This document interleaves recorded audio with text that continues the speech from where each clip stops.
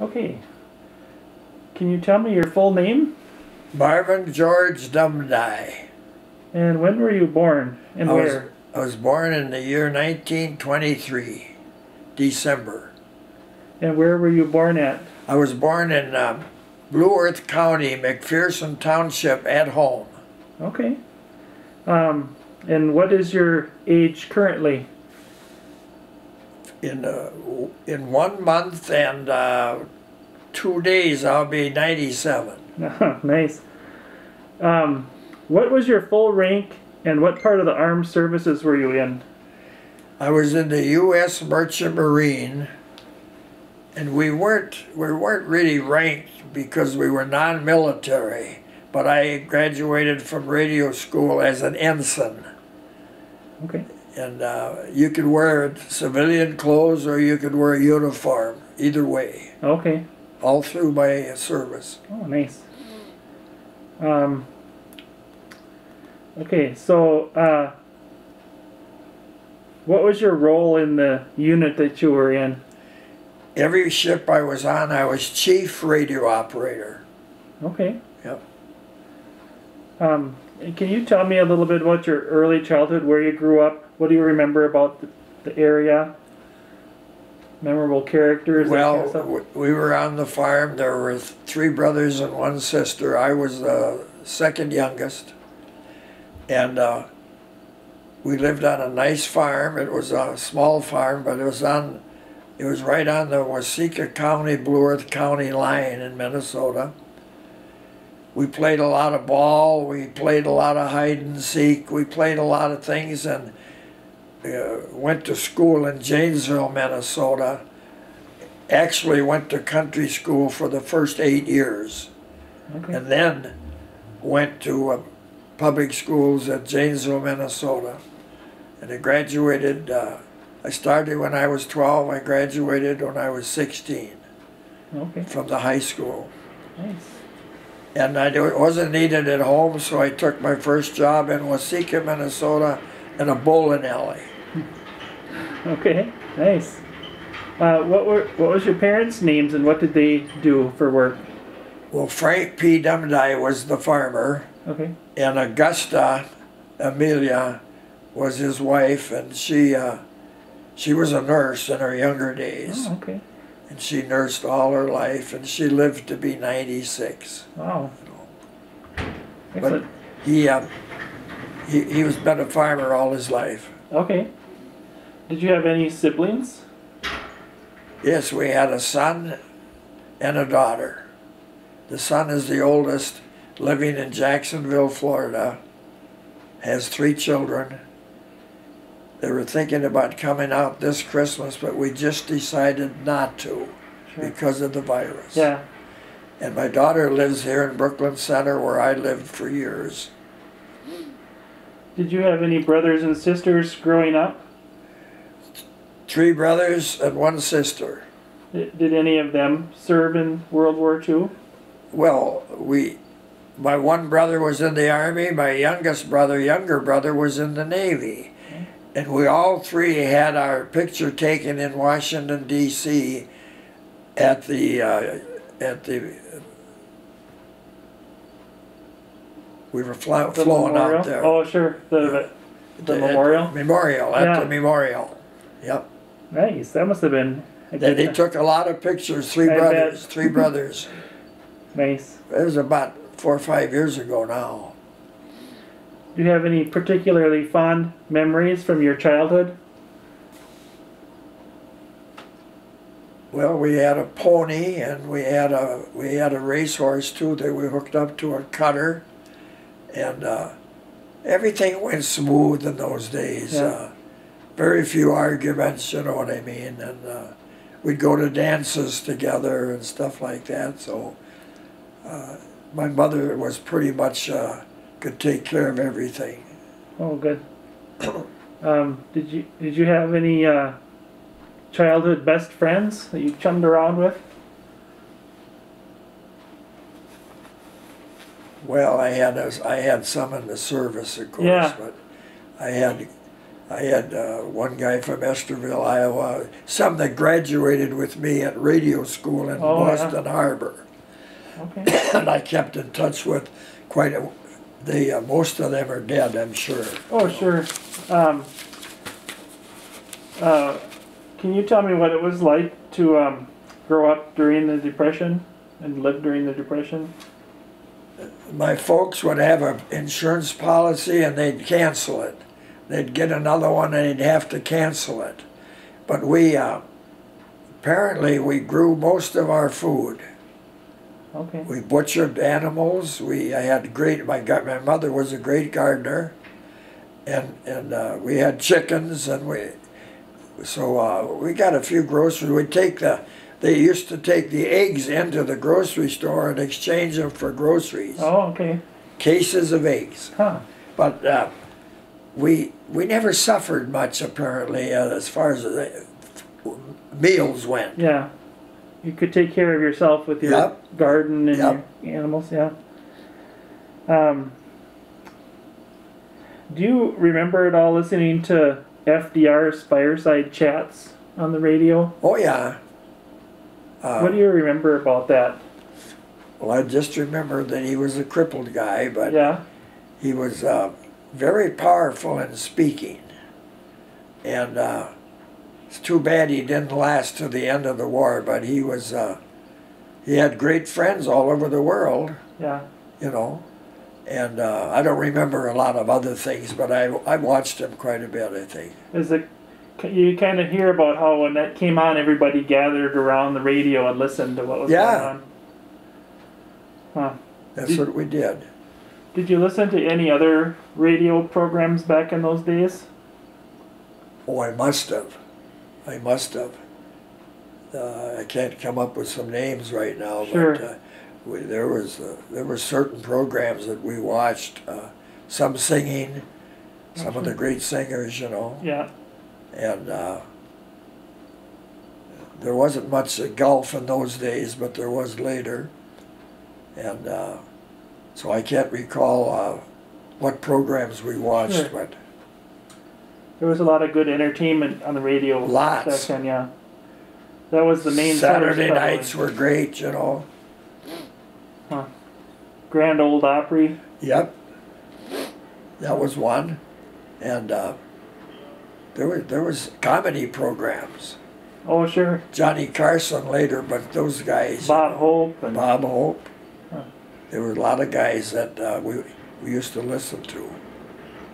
um, can, where did you say that you went to high school and what year did you graduate again? I graduated in 1940 at Janesville High School in uh, Waseca County, Okay. Minnesota. Do you have any uh, particular fond memories from your high school years?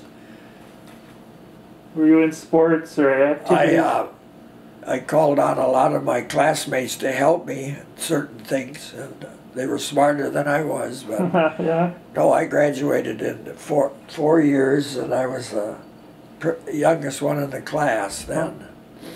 You know, so uh, I didn't play sports because I think we had to go back to the farm. You know, at You the had end, work to do end of the day. Yeah. Yep.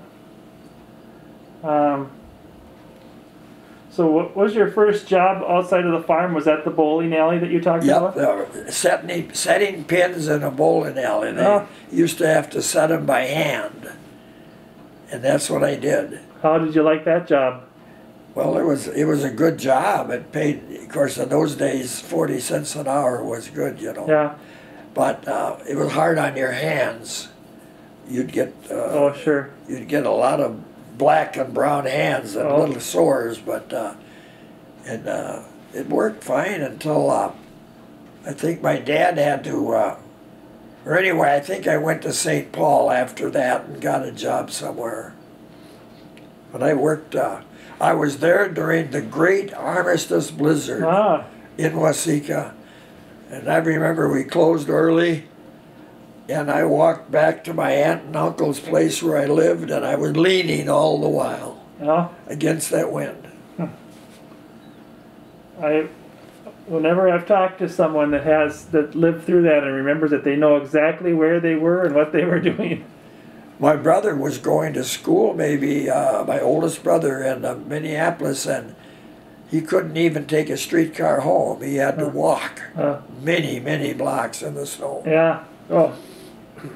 Do you remember the name of the bowling alley by chance that you worked at? No, Yeah. no, it was owned by. Uh, I know the guy uh, that. that uh, I remember the guy that owned it, but whether it was Waseca Bowling, I don't know. Sure.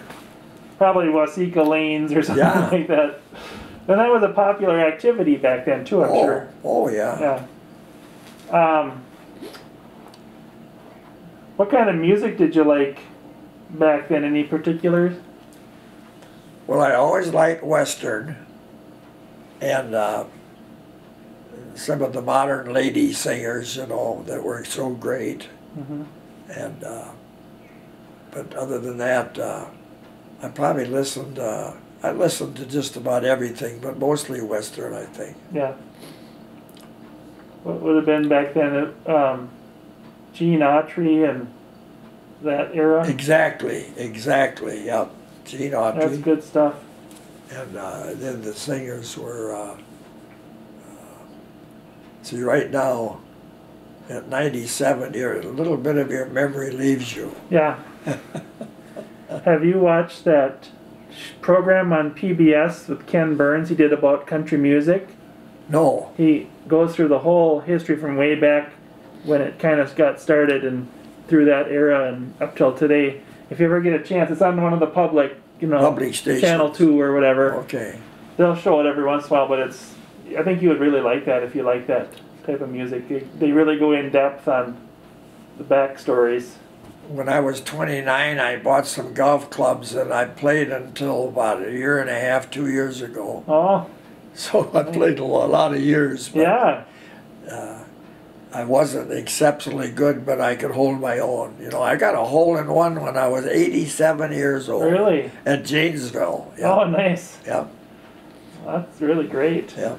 Well, that's the type of sport that you can. It's a lifetime sport. You Oh, can just yeah. keep doing it until you can't. Yeah. You're going to let up when you get older as far as distance goes, Yeah. but you can still putt, you know. It might take more strokes to get it out to the pin, but True, true. yeah, good. Um, do you recall um, hearing about what was happening in Europe uh, concerning the Nazis and bombing Brit- Great Britain and all that stuff Well, prior I, to? I knew about it because I would hear about it, you know, but uh, when before the war, you're Yeah, saying. yeah. Oh, yeah. Before oh, we yeah. got involved. Yeah. And uh, I knew we'd get involved, and a lot of other people did too. Yeah. But uh, my brother was taken out of the CCC camp because uh, he was drafted. And uh, I volunteered to go to the service when I was uh, 19, maybe 18, but it was in uh, 42. I went to, the reason I went is I read about, uh, come on to Boston Radio, Gallops Island Radio School in Boston Harbor. Go sailing. Just have a great time and learn the, the code, the radio code, which uh, three of us went. Oh. We stayed in it in four years. Huh. Um, do you remember when you go to the movie theater would they show the in between movies or something they show stuff about the war or what no, was happening newsreels? Not too much. No, not too much. That might have been happening while you were over there. True. Telling people back home. Um, where were you when you found out about Pearl Harbor and how did you feel about that? What was I? I was working. I was probably working in uh, St. Paul at some company. Okay. some smaller company. And uh, that's when I heard. I was on a Sunday, you know, and I heard about it over the radio, I guess. Yeah. And it was, well, probably was, uh, that was 1941, I'm sure. And I went in in uh, summer, uh, late spring of 42, I went in Okay. to the Merchant Marine. Yeah, I heard about it. So what were you? What did you do at that time in between the end of high school and entering this before entering the service? Well, that's when I, I worked at this bowling alley, and I just worked at uh, two or three different companies in St. Paul and Minneapolis, Okay. and, and roomed uh, roomed with some other guys, you know, in different apartments. But Oh, uh, there was uh, three or four companies before I went into the service.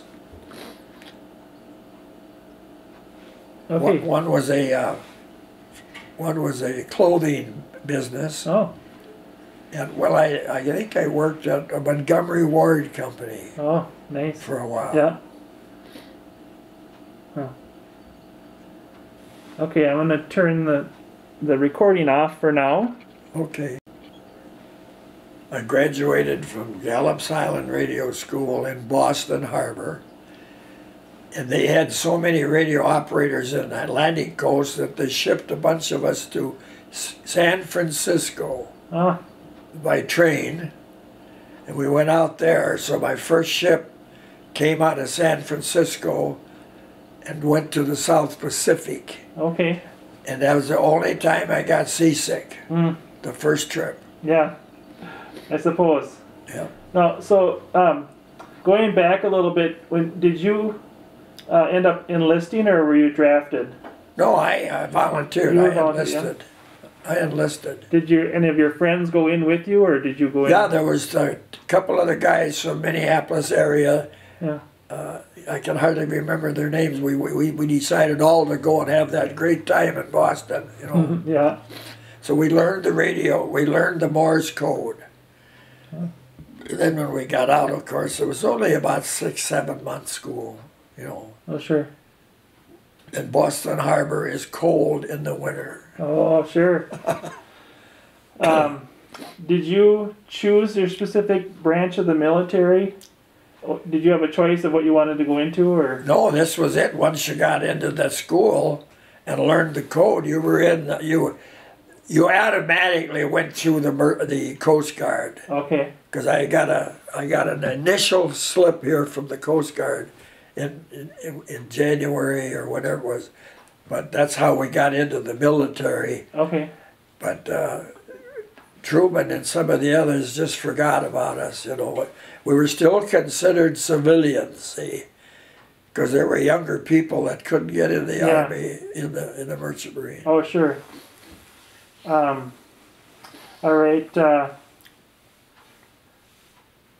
uh, do you remember what it was like going into the um, into the office to sign up the first time to enlist?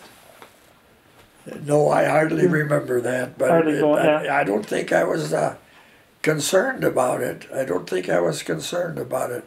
And then they said, "You're going to San Francisco to ship out." Uh, I either shipped out in San Francisco or New York, even Steven, yeah. over the four years, three years. Huh. Half the time it was out of Frisco, and the other half it was in New York. So the ship would come back. One trip, I forget what trip, it was the third trip or something. I left, I left Los Angeles or, or Frisco, one or the other. Went all the way to Calcutta, India, Oh. on a single ship now, and then continued on to New York, and then I came home for a, a break, so I was around the world Uh, in one ship. Nice. I got a souvenir over there from Calcutta that I brought. Oh, okay. Little, little, uh, that little wooden one. That little carving. Yeah, Oh, nice. yeah.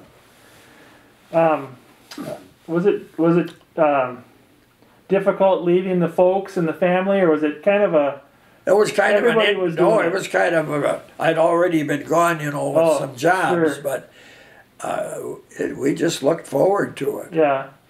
We looked forward to it. It sounds like when the guys I've talked to, there was just so much patriotism. Every, everybody was going to sign up and going. My somewhere. brother that was farming tried to get in, they wouldn't let him get in because he was a farmer. Ah, he had to stay home and help at the farm. Yeah. Uh, yeah, that's that happened too. Yeah. Um, uh, let's see. What was it? What was it like a typical day during your basic training? That would be in school, you mean? Yeah, like when you first were getting your training, and what was a Oh. typical day like? Well, I don't know. We uh, we did a little sailing, and we'd go into Boston by ship, by a little ship, and uh, it, uh, it it was uh, studying quite a bit, you know, and practicing Sure. with this sender. But other than that, uh, it, it I don't remember anything bad about it. Did you have to go through the typical boot camp physical No. fitness type stuff? It was just it was the training right off the bat. Right, right. Yeah. I imagine we passed a physical of some kind. Yeah. Okay. Um, did you have any kind of uh, were you trained with any type of weaponry or sidearms or anything like that? No, we really weren't. We uh, we did some marching Okay. in the in the camp in the Gallops Island camp, but uh, other than that, we didn't have to have any uh, military weapons at any time. Okay. And civilians, you see. And did you um, do you remember any of the specific uh, soldiers that you trained with at that time and stayed close with them, or was it more throughout the war that you met guys? And I don't remember anybody from that school really. That, Yeah. Right now. Yeah. And that's but that's just because of a memory. yeah, right. And did you keep in touch with any of the guys that you were with during the war after for a while, or Oh yeah, oh yeah. Uh, other radio operators and uh, we had some wonderful captains. Of course, I had eight different captains, you know, and I used to. I got even pictures now of uh, a first mate, and uh, I always had an assistant or two as a radio operator. okay? I was chief radio operator, but I had one or two assistants. So we'd go ashore together. And uh, one first mate was very we we went we went to every restaurant we could in one night and had lobster in New York on a break, you know, in between ships. Yeah. That's a good memory. Oh yeah. All right. Um, well, the next question was that what did you do for recreation in your free time? It sounds like you went out and found some places to eat and Oh yeah. Oh yeah. seafood and Oh yeah.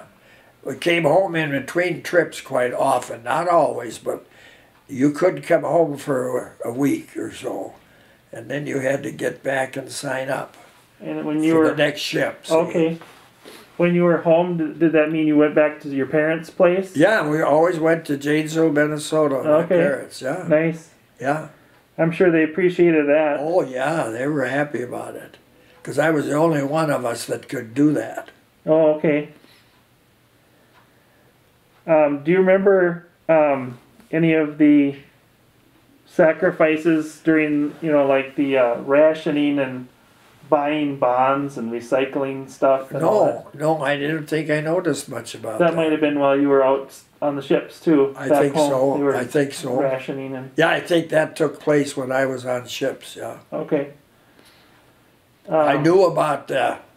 Yes, I knew about the rationing, and I knew about all the women building ships. Okay. Thousands of them were working and building ships. Did you have uh, any relatives that were involved with that part of it, building ships and whatnot, No, aunts or no. anything? No,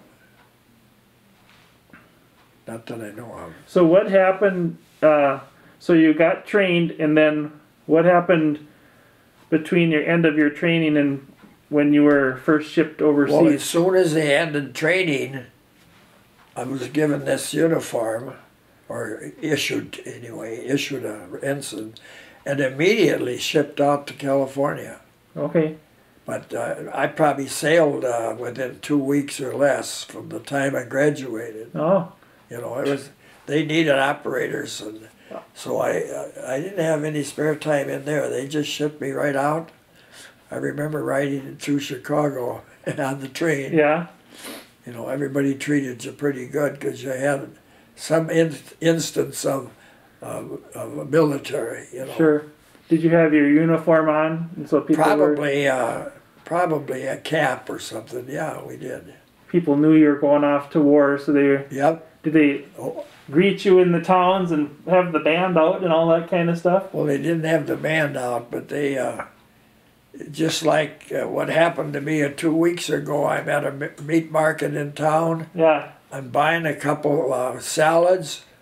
The, the guy says, it's already paid for. it. There was a guy standing at the counter, younger guy. Ah, He paid for it. But nice. that's happened to me many times with this cap on. Yeah. Oh, yeah. Well, that's good. We were at a fancy restaurant in Otana, my son and I together. And somebody picked up the bill, Huh. You know, one day. And they're doing it here every once in a Yeah. while. They like to do that in Monticello. Do you feel uh, appreciated that way? Oh, yeah, that's how you get appreciated. Yeah. It's a wonderful feeling. Yeah, I bet. All right. All right, so now we're going to talk about your during the wartime service. Um, what theater of operations were you in? I was in three different theater of operations Atlantic, Pacific, and Mediterranean. And, excuse me, I think I was also in the Indian Ocean one. So they, uh, that might have been a different, different uh, category. Okay. So you said you, you first were shipped out of uh, San Francisco, and they sent you to the South Pacific. Nouméa, Oh, Nouméa, New Caledonia, a little bit of an island. oh, way down uh, north of Australia or northeast of Australia. But that was my first trip, and then I came back. But then I've uh, I shipped one time to New Zealand, and I, I also went all the way to Calcutta. Huh. And then once we left Calcutta, we shipped right on back to New York, you know. And then one, the last trip I made, uh, one of the last trips was from New York to uh, Belgium. At the Battle of the Bulge, I was in Antwerp, Belgium, oh, and it was dangerous because our ship was loaded with high test gas when we went in. Oh. We they'd been bombing that town, yeah. and then twice I went to Murmansk, Russia, which is uh, north of Norway, little town. All the workers were women. All the people unloading the ship and everything were women, Oh, dressed in men's clothing. Huh. You know. yeah. In another trip, I went through the Medit- I went through the Mediterranean coming home. I'll take that. Then we can see your face, or you can set it down there. There, there you go. Um, I went through the Mediterranean uh, on the way home from the wor- the trip around the world. But I went back through the Mediterranean, through the canal, and went to Abadan, Iran at that time. I- Iraq's here and Iran's here. Yeah. So I, I, I went to, that's where we unloaded, because that was going to Russia. It went through Persia, the, the goods we took over Yeah. went to Russia. See, So what was the main uh, scope of the merchant marines? What did they do? What was their well, they're, task? they're still doing it. Yeah. They're delivering material, but this was war material we delivered, Yeah. you see. Thousands of ships. Huh. They lost sometimes as high as 30, 40 in a day on that Murmansk trip up north there. The Huh. submarines would get them. Hmm. We'd go in convoys, that means 20, 30 ships, Hmm. but they'd pick them off on the edge, you know. Huh. And uh, they're, they're still doing it today, delivering stuff to uh, other countries, Okay. you know. And so you were delivering war uh, supplies to the fighting forces and Right. whatever wherever you were going. Did you have any close calls when you were on the convoys? Well, the only one I had was in the Mediterranean. And one morning we we were warned about an aircraft above, so there was a lot of shooting. Of we had some 20 millimeter guns on ships, Oh, but they were bullets would be red and yellow, you know. Ah. And that went on for a long. That was the only close call I had in all those trips, huh. you know. But the uh, the uh, I had a classmate didn't get out of New York three different times on ships. He was he was torpedoed right out of the war, the three mile zone. Oh, He finally made it, but uh, yeah, he, he got he, he got saved, you know, but he Yeah. got torpedoed and abandoned ship. Wow. And uh, other than that, uh, we we never had any any difficulties uh, with other with other. When there were certain war zones which I got a bonus for, several of them. When we were in that war zone, so many days we'd get a bonus. you Okay. know. What was what was the typical day like for you on the ship when you were delivering stuff? Actually, uh, playing cards. I, I when I first got on the ship, I started reading the Bible, and I read a lot of it. Oh, okay. I never finished it, of course, but Yeah. every night I was reading the Bible when I first went in. Because see, I was 19 years older, so Yeah. anyway, uh, we would just kill time. Uh, either sunbathing, and of course we crossed the equator, and we had a we had a uh, doings going on. When you cross the equator, somebody's gonna Yeah. cut your hair and and do a few other things to you. Okay. So that happened to me on the first trip. You see. Ah. Anyway, uh, I'd even play cards with the captain once in a while, you know, and uh, we just and then we ate well. Merchant Marine ate well because they had a cook on every ship that and the food was brought in ahead of time, you know, Okay. when we shipped out. Did you go into a? Did you have like a cafeteria on the ship? Oh yeah, Yeah. yeah, we had a dining room, yeah. Nice. Yeah.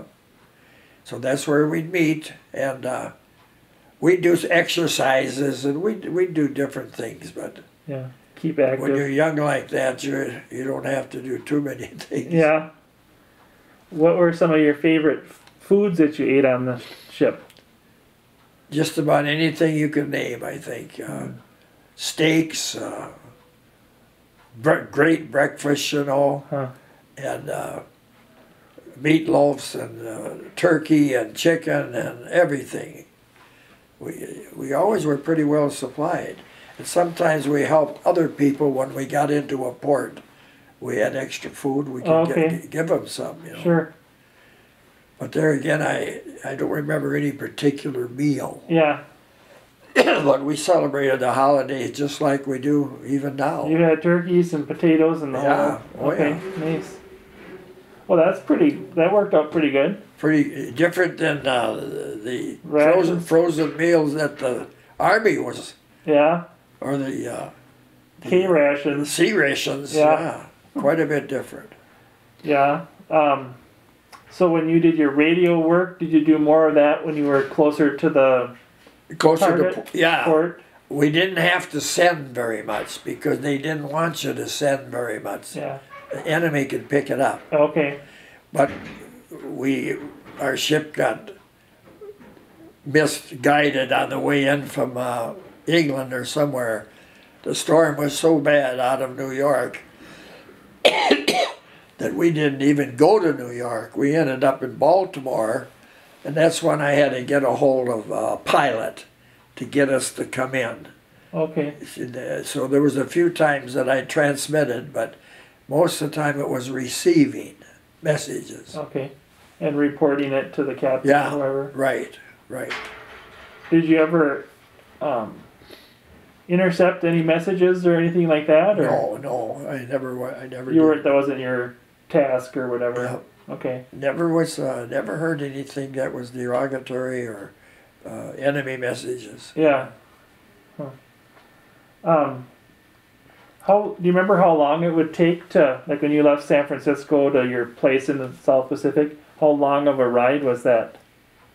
Well, it was probably, in that case, it was about uh, three weeks or four. Okay. one way and we'd stay there a couple of weeks and we'd come back. The trip around the world took six months, Hmm. really. And even after the war was over, I made a trip from uh, East Coast, New York, through the Panama Canal, all the way to the Philippines. Mm. Now, that was a trip. Yeah. And we ended up in the Philippines through the holidays in 1945 Huh? and we didn't get discharged till early, uh, about February 46. And I got I got, I sent from the Philippines, they sent us up to Shanghai, China, where we left the ship there, see, they gave them the ship. So we, we got rid of everything we could. The captain made a lot of money that time, selling Oh. lumber and everything. But anyway, then we came home on a different ship as a passenger, Oh, but uh, then got discharged. okay. But that was, uh, some trips were, most trips were at least a month and a half uh, or two months, you know, Okay. most trips. So you were you were coming and going constantly, Oh, yeah, back and forth and back yeah, different directions. yep. Did you when you were when you got to your port? Did you have time off usually to explore? I was off or- all the while I was there. Okay, I could go ashore, you know, and do whatever. do whatever, yeah. Get a date with a girl or, or go to a movie or, and when I was in Calcutta, I played the horse races on Saturday. Uh, Ha! At my young age. yeah. they had turf races. I think I had two weeks in a row. I, I won a little money, and the third Saturday we left. Hmm. Ship left. But no, we we could uh, we could go eat, you know, out at restaurants and Yeah. stuff like that. So it was uh, that was one thing about the radio. You know, we were all called Sparks. Every radio operator. Oh, I was known by Sparks on every trip. huh. Not Marvin. they they just called you Sparks. Well, were you the only radio operator, or was there a team No, of I, you? there was there was sometimes three of us, Okay, two or three. Very seldom I was alone. yeah. You know, they, I was chief radio operator, but then there would be two others, one or two others. Okay, So we got to be good friends. You know, yeah. we took shifts. Excuse me. We took different shifts. Sure. So then, when you were the were the locals always pretty friendly, uh, Oh, welcoming to you guys? Excuse me, darn it. Anyway, when I was in Abadan, Iran, we did go to Iraq on a little bus trip. Okay, Three or four of us. We sightseeing yeah. and uh, saw a lot of the young kids there that were didn't have parents, you know. Yeah. And uh, we'd give them candy and stuff. Oh, sure. Did you uh, pick up any souvenirs and stuff when you're in the different towns to bring back home? Well, I'd try to bring something from every town, but it might be just a handkerchief or something. But Yeah. I, I, I got a picture of me in kilts when I was in Scotland, and uh, signed by a girl that I had dated. But I was I was in kilts, and I tried to find that the other day. I've got it here somewhere. Oh, And uh, uh, what else? I picked up something uh, every place I was. You know. sure. Have you got that little statue thing that we were? Oh, there you go. There we can. You want to tell us about that? Well, I don't know much about it except that I bought it. Yeah. You know. Where, where did you get that? Shanghai. No, no, but Calcutta, India. Calcutta, okay. Calcutta, India. So I just remembered that's where it came It from. looks like some sort of warrior or yeah, it's a warrior on a on a on a. a tiger or No, I think that's. I think that's probably no. That doesn't look like a uh, a uh, animal. I was thinking it was. Yeah, it looks like a it looks like some type of a tiger. When you- hung on to that for a long time. Oh yeah. Here it is in your living room still to today. I probably uh, I probably got some other stuff saved in a file somewhere Sure. from different different areas. But uh, I don't know what I got from Russia when I was in northern Russia. Uh, we went to a we went to a uh, dance one time when I was in northern Russia, and uh, the girls uh, they kind of smelled. Mm, really? yeah. because they didn't have the sanitary conditions that we do. Okay. And uh, but we we went to a dance, and uh, that that's one thing I remember. Otherwise, you, you stick stayed close to the ship in some ports because there was nothing to see. Sure. You know. just play cards and read the Bible and whatever. Yeah, well, we played a lot of cards. Uh, there was a card game going in in that in that kitchen area, in that dining room, and I remember one third mate. He was a third mate. And he played with the crew, and he was making money hand over foot. He'd send home because he'd beat them. They, Yeah. but they- they'd play a lot of poker, mostly poker. You know. A lot of coffee, Oh yeah. brewing. Say, and- do you want a cup of coffee? no thanks. Because I got some fresh coffee. No thanks. Um, do you remember what? Did you have a favorite uh, port that you went to that you really enjoyed? Well, I think I went to two ports in New Zealand. Oh, Christchurch and uh, uh, what the heck's the Christchurch and uh, see now I can't come up. Auck- Auckland is the Oh. capital, but there were two different islands, and that reminded me a lot of Scotland too because it's green and they have horses and sheep, and uh, it was just a nice place to Oh. be, New Zealand. Um, I was in Glasgow, Scotland, as a, uh, just just for a little while, as the ship stopped there, and uh, then uh, other than that, uh, I never never forget uh, the canal on top of the Suez Canal. You know, okay. never forget. I was three times I was there. Ah, But I met a I met a classmate there actually from another ship, and he was a classmate that came home to Minnesota from Boston with me once, and by golly, we got together ah. for a, little while. He was from Minnesota, also a high school classmate or a No, he was he was from he was from Boston, Oh, okay. and that's where I went to school, the radio school. Yeah. Je- Harry Krim. Ah, And by golly, we, we connected by radio, by, by phone, you know, and found out the ships were both in the port. Huh. So he came over to my ship and he said, My ship's loaded with beer. ah. It was, I guess. That's what they were delivering, huh? Yeah, beer delivery. I suppose. I never heard of that. Chocolate and beer and cigarettes. Sure. and Yeah. Oh, we, we had a locomotive on one, uh, the locomotive was sitting on our deck because you couldn't Oh. load it any other way, but yeah. I think we took it to southern Russia. The narrow band rate, uh, uh, locomotive. Okay. There's a little. There's one a little narrower. Yeah. But yeah, we took, we took, one time we took about six big high-priced officers in our ship. We had even cabinets for them, cabins for them on the deck, for those officers. I forget where we took them, but we had, they were lieutenants and Okay. lieutenant, different army, mostly army. Yeah. So we had everything. We we had, of course, we had a lot of jeeps and Oh. stuff uh, on on the ship, and just I can't even tell you what we all we had everything. Do you remember? Was there one that was peculiar or most interesting to you? Well, I think that was the one The with trains? the, with the train on it. Yeah. yeah, yeah. We didn't pay much attention. You Yeah. know what I mean? You're It's so common. We did. Yeah.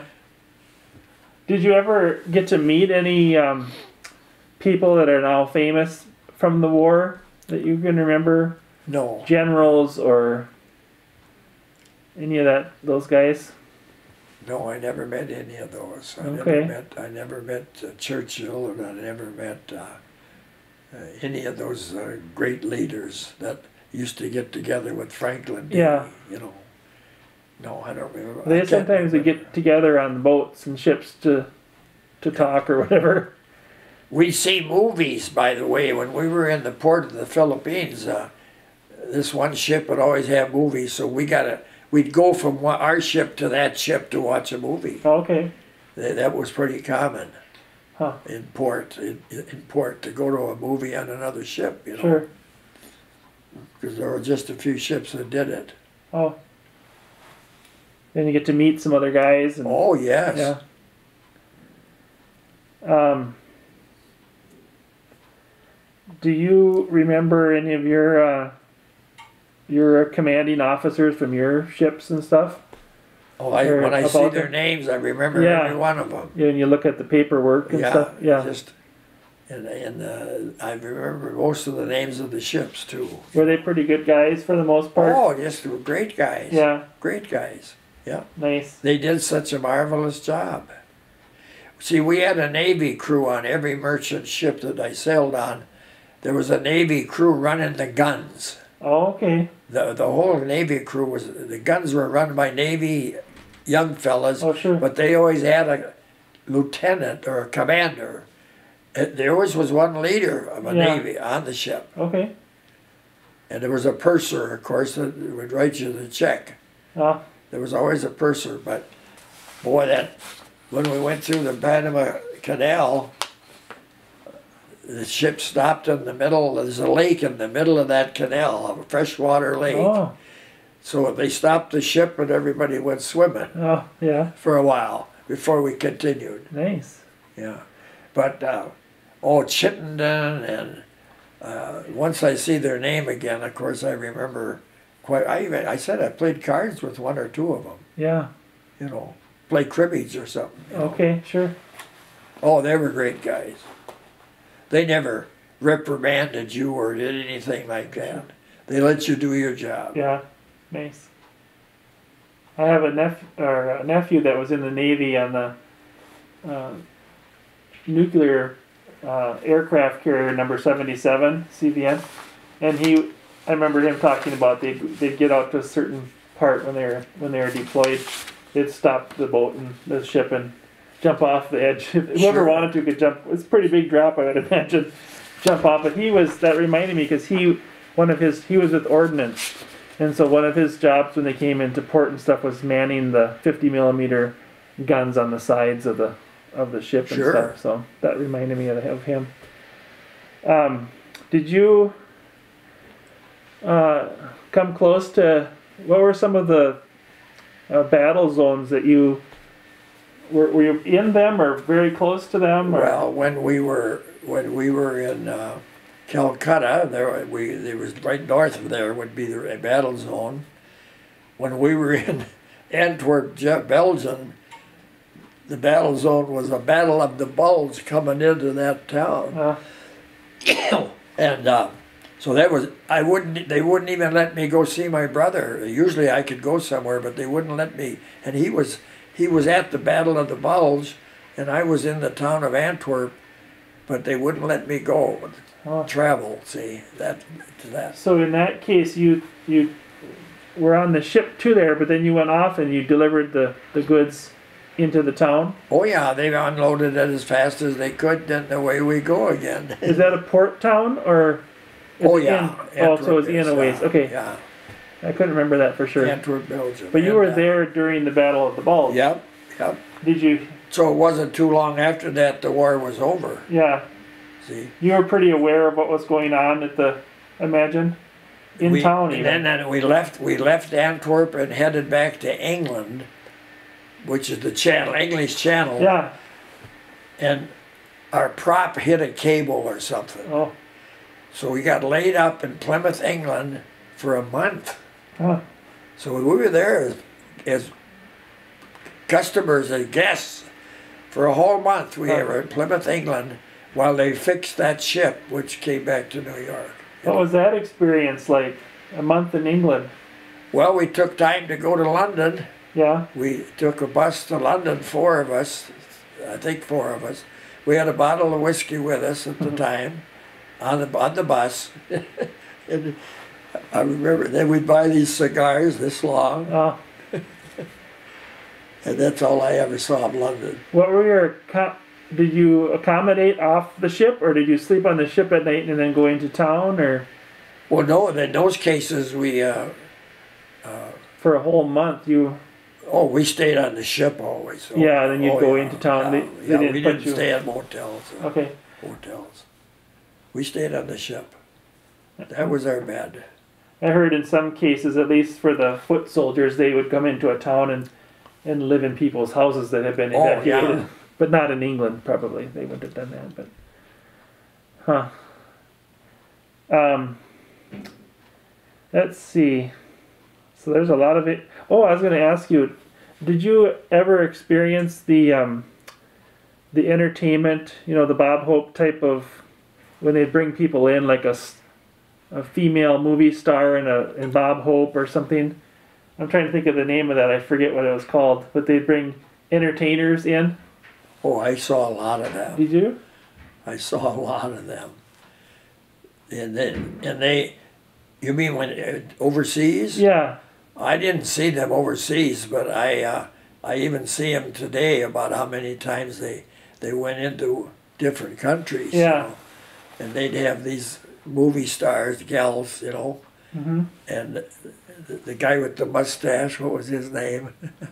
Uh, Clark Gable or No, this he was the funny guy. He was the oh Bob Hope's uh, kind of sidekick. yeah And uh, yeah, I, I I've, I've watched a lot of them, but Yeah. I, I didn't see any in person, no, well you were because they weren't there when I was there. sure you hear a lot about those Oh, he did he did so many of them, and the most loved guy in the world. the morale keep the morale up Oh, the, he was the most loved guy. He had the right people, and they they clapped him to death. You know. huh. so you were you didn't see it while you were actually there but you've you knew about it and you oh, saw I it on about TV it. and whatever yeah, I knew about it. yeah Because we, we kept up pretty well on the news, you know, on, uh, on in our cabin even. Did you um were you much of a letter writer did you write home a lot or keep Yes, a journal or anything Yes, yeah. I wrote a lot of letters to my mother and my, my brothers and uh, sister. You know, yeah. I did a lot of. We did had time for that. You Yeah. Know, so we did a lot of that. I think I wrote home constantly. You Mm. know, my mother and dad. But I, I wrote to my brothers even when he was in the army and stuff like that. okay and uh, Eugene was in the he was on the Midway, U.S. Midway, which never was really in the war. They were on a shakedown cruise after at the end of the war. See, that was a they couldn't go through the canal because there were two lines of a ship. Hmm. The, the, the, Yeah. It's now sitting in a harbor in San Diego. yeah So uh, uh, he uh, anyway uh, he got in he got in on the college that I didn't get in on, and he was only in the last part of the war, uh and he got he went through Gustavus. you know. oh okay Yeah.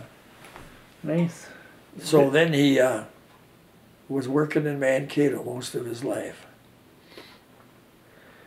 Um, so did it take a while for the mail back and forth to catch up to you? Oh yeah. Yeah, It it took sometimes a week, two weeks. yeah. Sure. It was always nice to get mail, I suppose. Oh, yeah, we had mail call every day, you Oh. know. Everybody's waiting to hear their name called out. Yep. So I was always glad to hear. I, I think I got a stack of those letters and stuff uh, saved. I was just gonna ask you if anybody saved the letters that you, either that you wrote or that you That I received. Yeah, Yeah, I'm sure I got a stack of them somewhere, you know. do you know if anybody in the family has the ones that you wrote home? No, I don't know that. Of course, they're all gone, That'd be, in yeah, except if my the grandkids have them in the box somewhere or something. Some of the grandchildren might.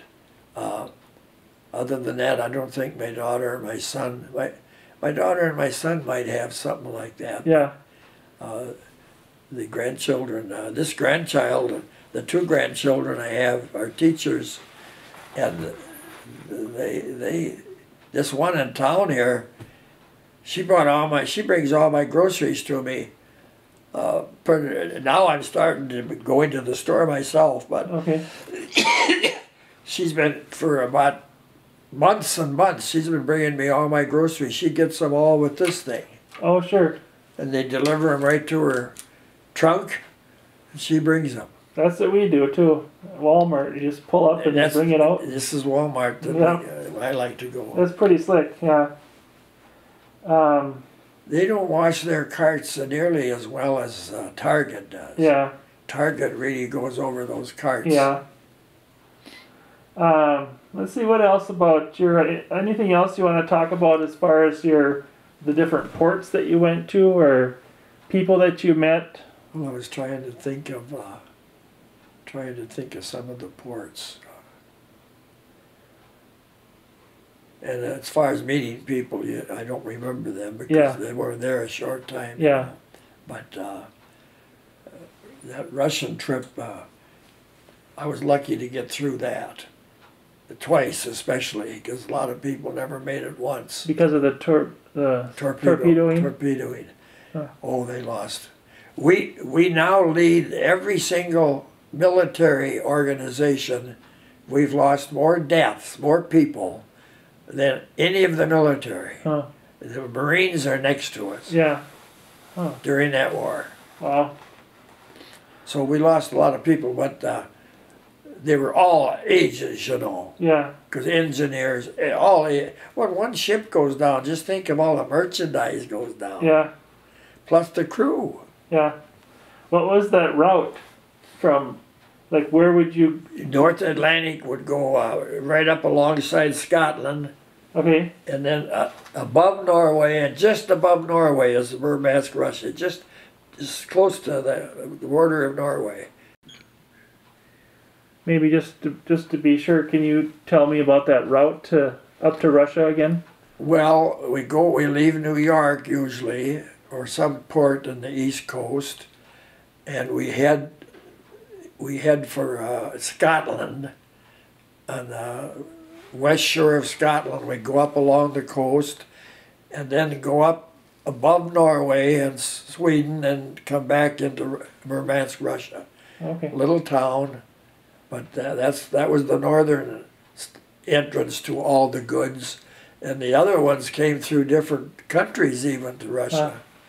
Was that pretty nerve wracking once you started getting closer, knowing oh, oh, how yeah. it was? Oh yeah, you you you wondered when you were going to get it. You know? Yeah. Did you have any opportunities to see um, uh, aer- aerial combat between, you know, the uh, dog fights and stuff when you were sailing? Did you see any No, action like that, or bombers going over? no, Or no, no, okay, no. We we just did in that one case when when they were doing it to us. I don't even Yeah. know uh, how high the sh- the airplane was, or but they spotted an airplane, and then we started uh, shooting everything we had at it. oh sure. So we didn't get hit. When you were out and about, did you ever hear the the radio stories from Tokyo Rose or Oh, yeah. Sally? Oh yeah, we was heard that like? we heard Tokyo Rose quite a bit, Yeah. quite a bit. What What do you remember about that? Well, she was very pleasant, you know, telling about how wonderful things were going to be and were, and lying through her teeth. yeah. Tokyo Rose. Uh, they always seem to know a little too much information, I suppose, too, huh? Yeah, Huh. she just had no worries in the world, and she uh, she did not like what was going on with the Allies. Sure. Um, Tokyo Rose. now, when you were in some of the ports, did you see, like especially in Belgium, did you see uh, bombed out buildings and some of the effect of that? St- Well, that's what we saw in Antwerp. Yeah. They had a great big, uh, let's say, railroad station. It was, the roof was in, Huh. It was bombed, and uh, well, they had what they called a uh, V, a V, a V-shaped uh, bomb come down. Yeah. And that, and that we saw holes in the in the tree street Sure. where they'd hit, but they had the buzz bomb. Remember, remember hearing about Yeah. that? We even ran away from a buzz bomb. You could run away from it if you wanted, if you could just go the opposite direction. The buzz bomb would be about twenty foot high and the off the off the uh, soil, and, and you could hear it. You can hear it coming. You could hear it coming, but we we weren't worried about that. We were worried about that V bomb. Because they came out of nowhere, I suppose. Boom! Yeah. Yeah, they'd hit the ships, you know. Could you hear them at all, or did they have Not the V bombs, no. Until, Huh. until they hit, I don't think you could hear Huh. them. Yeah, that was quite a weapon that they had. Those rockets. Yeah, Um, but you didn't. You didn't have to. Once in a while, uh, the uh, buzz bomb, I think, it kind of end and drop by itself. oh, sure. So many miles. Here's what I was thinking of before with Bob Hope. I couldn't remember the name. It was called the USO show. I was trying to think of that name. I couldn't come up with it. Um, uh, What what was it? Uh, what was it like towards the end of the war? Uh, when did you know that you were heading home or whatever? Well, I knew I would be coming home uh, when I when I was in New York or New Jersey, one or the other, with the end of the of the war, end of the in forty August forty five or whenever it was. Yeah, I knew I'd be coming home, but I went on another trip after that. sure. So they had it lined up already to go all the way to the Philippines. See? Okay. But uh, oh no, we knew we'd be coming home then, because the war they had quit bombing. Everybody had quit bombing, you know. So that was uh, I was I hap- I happened to be in Scotland at the time of the first the first uh, end of the war. Okay. The let's say the European end. Yeah. Europe in. But then I was in, uh, I was in, maybe I was in with my brother, youngest brother, I think I was.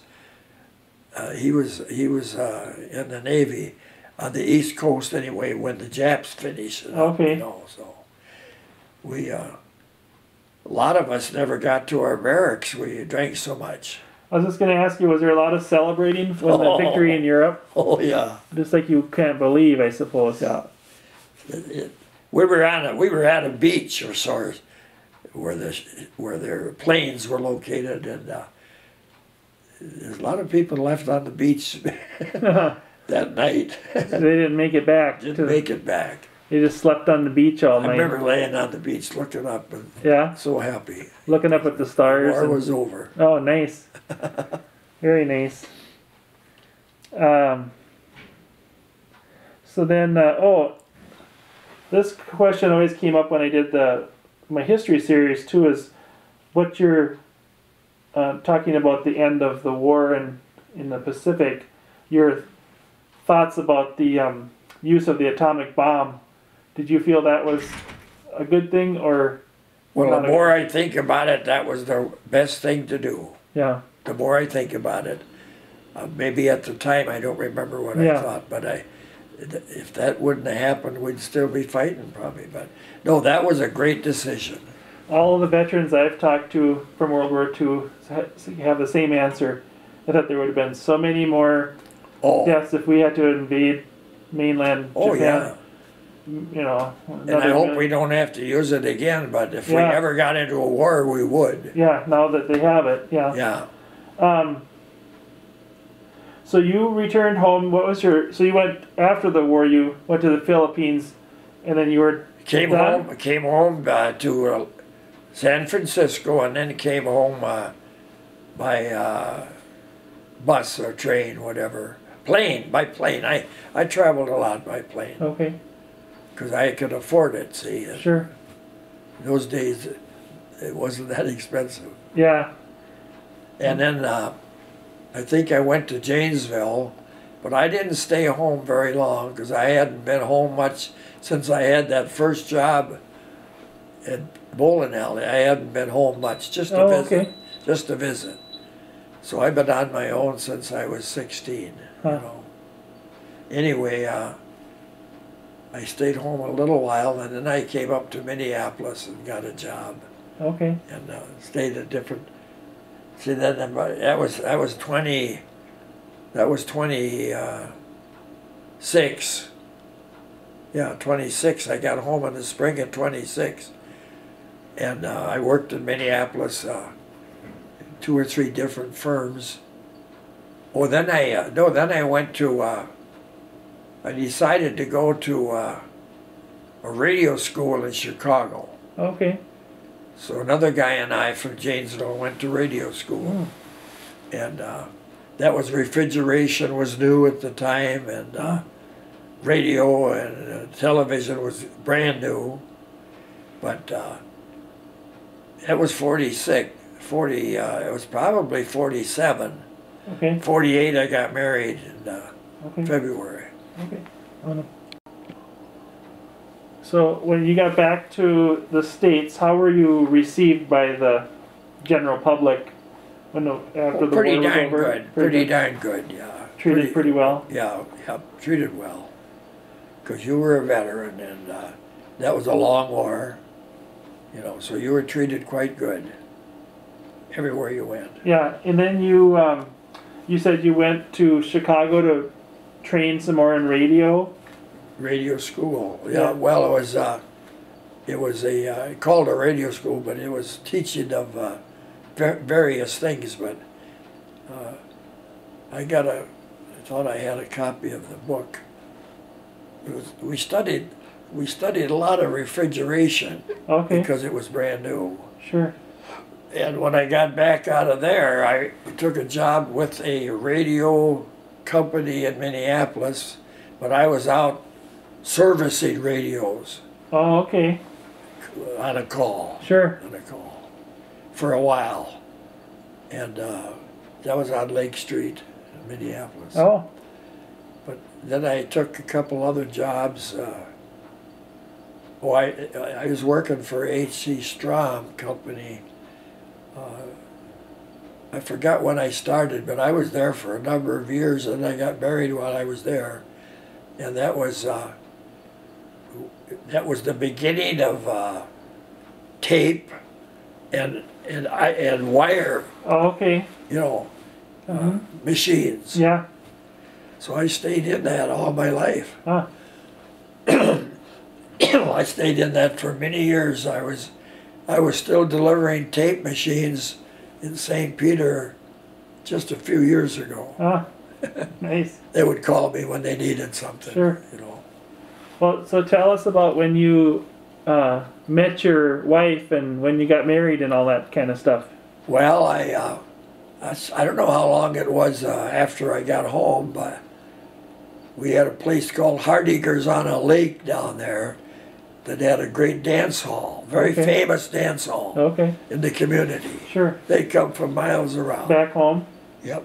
And uh, so I went to Hardiger's with my. I guess I bought a. I had a car. I bought my first car uh, in Waseca Huh.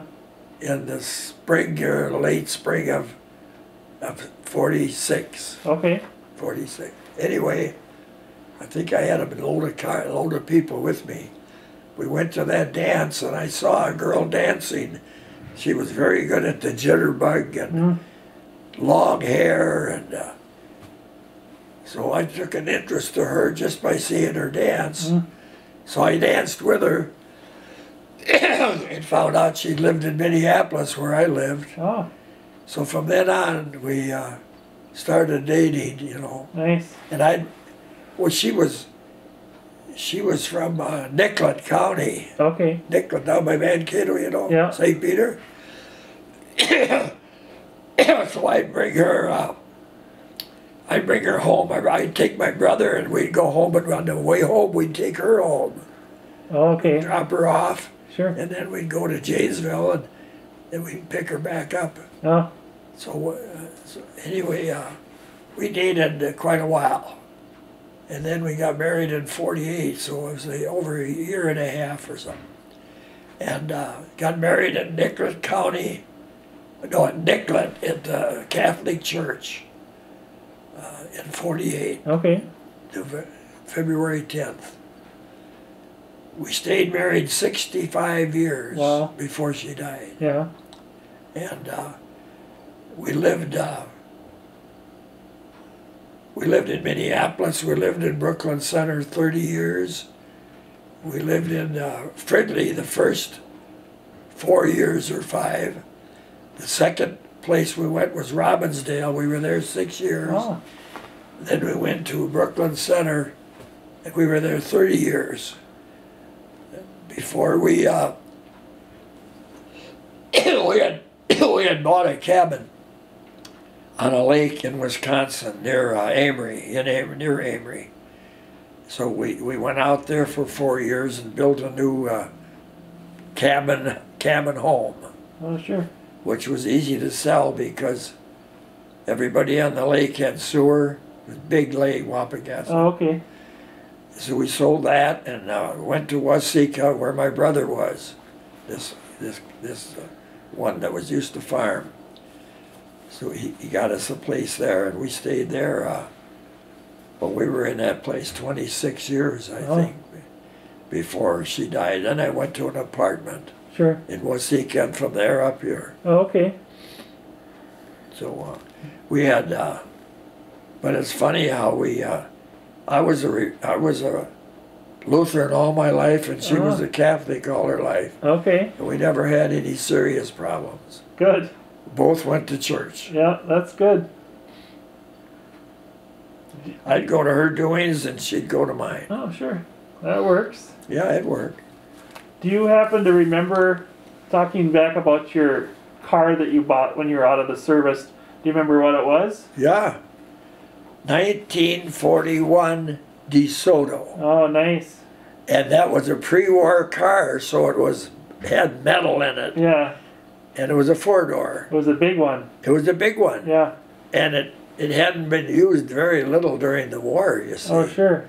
so here I got that car in, in Waseca, and I had it. I had it a long time, but it was it was a good running car. It was a Nice. Six-cylinder, uh, four-door, black, uh, pretty nice car. Nice. I bought a I bought a brand new DeSoto a few years, quite a few years later, yeah. because I liked that one. Oh, know, sure. But, then I, I've had all my life. I've probably had twenty-five cars, Oh, sure. and the one I got now is as good a car as I've ever had. It's a nineteen. Uh, it's a nineteen. Uh, 90, uh, 96. No, it wouldn't be that. It wouldn't, uh, 06. It's an Okay. 06 uh, Grand Marquis Mercury, Okay. which they don't build, Yeah. but I bought it from my brother. They bought it in Florida. Oh, And it's as good a car as you could have. It doesn't break down. It uh, great driving car, and very comfortable. oh, sure. Very nice. no mileage at all. Huh. Just a couple little trips to town and It's a V8, so I don't drive it much, but I just renewed my yeah, license. nice. Just renewed it. So it's good for four years, but uh, it'll outlast me and and uh, the license, I'm sure. Yeah, you never know. What is that your favorite car you've had, or did you have a? Oh no, I had I had uh, a couple of the large Buicks, you know. Yeah. I, I had a Park Avenue, but I had the one that was another name before it was Park Avenue. I had Oldsmobile. I had one small Mercury that was terrible. One Ford is all I ever had. I Hmm. bought a new Ford way back in the in the fifties probably. Okay. But uh, I had a Chevy wagon. I had Plymouth. Huh. Uh, but I think I like Buicks. I had several Buicks. Yeah. Several Buicks. Quite a few of them. Huh. And one that I traded in for this car was had lots of miles on it. It was Okay. a Saber. Oh yeah. But uh, that's a very memorable car because it was pre-war and it was my first car. Oh, I bet. I kind of forgot if I paid twelve hundred bucks for it or something, Yeah. something like that. From the dealer. Yeah, from the dealer. Nice. Yeah. Yep. And uh, I never had to go back uh, and get anything done. Well, they probably weren't moving very many cars during the war. Oh, they weren't. They were just sitting Nobody there waiting for you to them. come They home. would keep driving them, you know. Yeah. Huh. Yep. Well, um, we probably could wrap this up soon here. Do you have any um, life advice that you want to give future generations that might watch this if we have this on a video or Well, lesson that you've learned? I, I quit smoking uh, 50 years ago. I must have been in my 30s when I quit smoking, and I never was a heavy smoker. Okay. and I used to drink quite a bit, uh, quite often. But now I had, uh, I had a beer the other day on Veterans Day, and that was Ah. the first one in a month. so, uh, but uh, watch what you eat, and uh, of course we've always had exercise. I I golfed all those years. Oh, sure. I fished a lot, and I hunted some in pheasant season, Hmm. and uh, so we did a lot of outdoor stuff. I had a snowmobile, and I did I did winter skiing quite a bit for a number of years with my kids, and uh, So we exercised a lot, you know. Sure. But uh, just watch what you eat, and uh, like Dr. Langenfeld says, maybe you're over your pains. maybe you're too old for them now. Well, I'm hoping that's true, but Yeah, you look like you're I pray every night, you know, for family and sure. stuff, myself Good. and uh, people in church and so forth. All my family. Yeah. And thank goodness not one family member has COVID yet. Yeah. But a lot of them are dead, you know. All, all three brothers are dead, and uh, sister Your just siblings and stuff. my sister just died in January at 99. Mm. She she actually in the year hit 100, but she was only 99 years old. But she lived to be 99. Were you the baby of the family then? No, no, I was second from the Oh, bottom, you okay. Second second youngest. Okay. This younger brother that went to Gustavus was uh, a Ah. cou- couple of years younger. Okay. The rest were all older. Huh. But they were only a year or two apart, Sure. two years at the most. Yeah. Well, is there any anything else about the wartime experience that we didn't cover that you would want to mention? Well, just the fact that they neglected us all these years, and uh, we had senators and we had we had senators in Washington and well the House of Representatives two years in a row unanimously passed us to get a bonus. You know whether certain amount of money, Yeah. twenty five or fifty bucks or whatever, Yeah. five hundred I mean, you know. Yeah. But the Senate wouldn't even put it on the floor Huh. in both both years. And they, they were fighting it last year. They were still hoping we'd get. Ala- No, uh, Canada got everybody got 25 2500 or something Yeah. long years ago. Yeah. The merchant mariner, but they uh, they they're dying off so fast now. This is not happening here. But huh? they're not going to get it, you know. But there were people, people. There's still people. Uh, one lady I remember, she's still plugging for it. you Yeah. know. Good. Well, who knows? You know. Now I keep looking at that picture above you, and uh, can you tell me a little bit about your trip to uh, D.C. for the honor flight? Oh, that was. brothers? Uh, well, that that was great. We uh, three of us went together, three brothers, and we all went to Rochester. Got on the plane. They treated you like a king, you know. Yeah. Course, they had loads of people in wheelchairs too. Yeah. But we took a big plane. We went directly to Washington, D.C. Got on uh, buses. I think one of them uh, got on. The the buses took us to all these, uh, especially our memorial, Yeah. the World War II. But we saw the others too. you Okay. know. And uh, I don't know where we ate, but it was good. Whatever we had was great, and we made it home. Uh, we saw New Washington D.C. The bus took us through. Oh, we could see the Capitol, and one lady was one girl from Minnesota, uh, and one guy from uh, Emmitsburg, still in Emmitsburg or whatever it is, south of Rochester.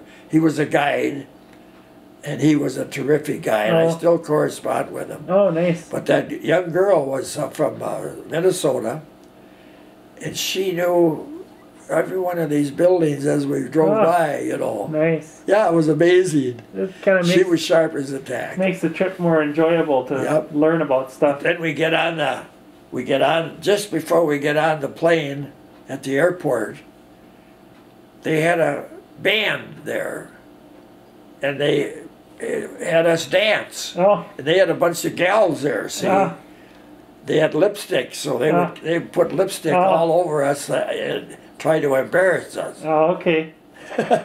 So I got pictures I of see the picture up there. It looks like maybe in the corner there. Yeah, I got pictures of that. Yeah, a that might experience. be. Yeah, that might be one of the girls. See if it is. Yeah, in the see? corner there. Yeah, see, that's where. And one girl grabbed me. I didn't want to dance. She grabbed me. We danced. But this one came. This one came around and kissed you on the cheek. yeah, My, my, all three of us had get the whole experience. Huh? Yeah, it was a, it was a pre pre-war, uh, let's say, dance, you know. Yeah. So uh, that, that was it. And then we flew home, and we had a huge crowd Oh, sure. in Rochester waiting for us Nice. before we distributed uh, to get home. That was a good experience then. Oh, it was a great experience, yeah. Huh. It was a great experience. Oh. They're still doing it, I think. I think so too. But see, then they were doing it already for Koreans and uh, Starting to get more of the Korean War yeah, vets in and there. And, vets and the and the other war too, Vietnam. yeah. That was a funny war, wasn't it? Yeah. Before I forget, you wanted to talk about your discharge paper there.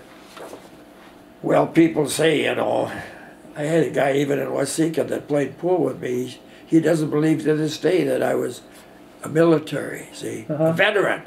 Yeah.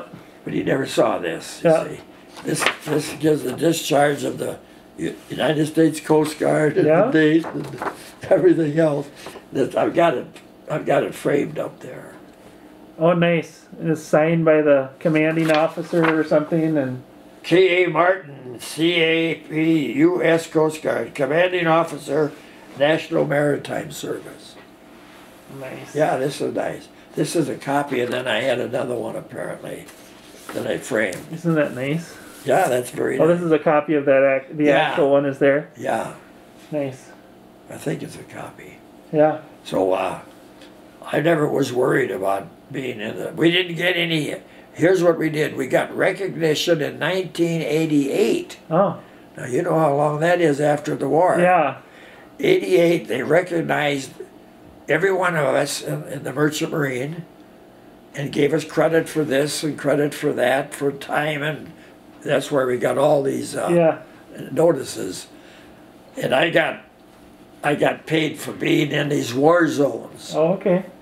But a lot of them in the Merchant Marine didn't get a cent, you know, Uh, sure. but when they were discharged. Yeah. But anyway, uh, then I could join the, the uh, which I did, the uh, Legion. Okay. Couldn't belong to the Legion before that. Oh, until you got the Yeah. uh, 45 years later yeah or so that happened in '88, but that was just a little sampling. Of, Yeah. But they at least re- recognized the, Yeah. the U.S. But to this, then we used to have a yearly Legion. I suppose it would be around uh, November in Waseca. The Legion would have a recognize every one of the services Okay. and sing the song. Oh, sure. We had a guy down there that that uh, one guy in Janesville. We've got our we've got our name on a five a, a five cornered uh, well renewal thing. Oh, sure. It, says U.S. Merchant Marine, Oh, nice. and he he developed a, a real nice song, but they a lot of times they'd forget. So when I well, I even went locally here to this Legion or to the senior center one time. They were recognizing all these songs, so I told the lady, I said, you know, uh, we don't only have a very nice song, we have a very nice discharge, everything. Sure. And she says, oh, I'm glad to know that they, they left it out, you know, they they didn't Huh. play the Merchant Marines. Yeah. So And you uh, had a separate song for the Merchant Marines, separate from the Coast Guard right? song. Oh Okay. yeah, oh yeah, yeah, yeah. It's Nice. got good words to it. Yeah. about merchandise, but hurrah for the hooray for the merchant marine. See, we were called U.S. Maritime Service. Okay. You know, that's what a lot of this stuff was. U.S. Maritime Service. Oh, this is from the American Forces of the United States of America. Nice. I don't think you want any of that other stuff. All right. Well, thanks, Marvin. Thanks for your time and thanks for your service. You bet. Thank It's you. It's been great talking to you today. Now I can have lunch. Yeah, you can. Yeah, both of us. You have lunch and have a drink of water or something. Well, I, I'll have Thank- lunch and I might have a little cup of my coffee. Okay. Thank you so much.